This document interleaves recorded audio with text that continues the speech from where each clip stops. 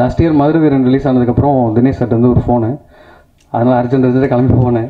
போன உடனே ஏதாவது கதை கேட்பாருன்னு பார்த்தா நீங்கள் ஒரு கதை கேளுங்க அப்படின்னாரு. அப்போ தான் தெரியும் நம்மளை கூப்பிட்டது கேமரா பண்ணுறதுக்கு அப்படின்னு. இதெல்லாம் டவுட்டோட வந்துட்டேன். அப்புறம் நம்ம இப்போ ஒரு ஃபோன் எடுத்துகிட்டு போவோம். பக்கத்தில் ஒருத்தர் புதுசாக இன்னொரு ஃபோன் பயங்கரமாக வச்சுருப்பாரு. அதை பார்த்தோன்னே எடுத்து உள்ளே வச்சுக்கிற மாதிரி ஒரு கதை கேளுங்கன்னாரு. சார்ஜிக்கிட்ட போய் ஃபஸ்ட்டு உட்காந்து கதை கேட்டேன். கேட்ட உடனே என் ஃபோனை எடுத்து உள்ளே வச்சிட்டேன். சரி அப்புறமா பண்ணிக்கிறேன்.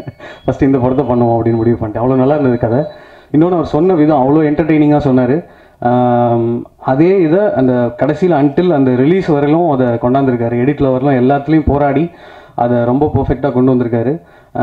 எல்லாருமே இந்த படத்தில் வந்துட்டு நான் இந்த வேலை செய்கிறேன் நீ இந்த வேலை செய்கிறேன் அப்படின்லாம் இல்லாமல் எல்லாரும் ஈச் அண்ட் எவ்ரி ஒன் வந்து எல்லாரும் இந்த படத்துக்கு பெரிய கான்ட்ரிபியூஷன் பண்ணியிருக்காங்க.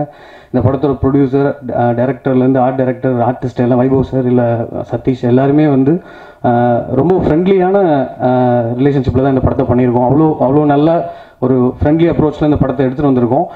அந்த அந்த எனர்ஜி வந்து கண்டிப்பாக ஸ்க்ரீனில் கன்வெர்ட் ஆகிருக்கும் கண்டிப்பாக அது தெரியும். நீங்கள் படத்தை பார்த்துட்டு கண்டிப்பாக உங்கள் ரிவ்யூ சொல்லணும்.